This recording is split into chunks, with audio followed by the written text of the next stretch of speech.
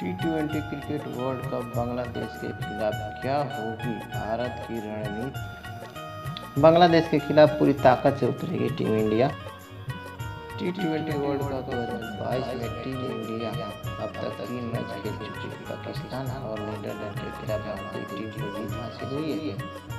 वहीं दक्षिण अफ्रीका के खिलाफ उसे हार का सामना करना पड़ा।